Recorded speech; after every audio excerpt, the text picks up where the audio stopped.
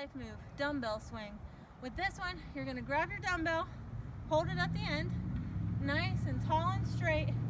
You're gonna go down into a squat and then swing it up. Nice, flat back, nice and controlled. We're not taking it all the way up. We're only swinging to about shoulder height. We're keeping the weight in our heels and we're really focusing on feeling that glutes at the bottom and squeezing them at the top.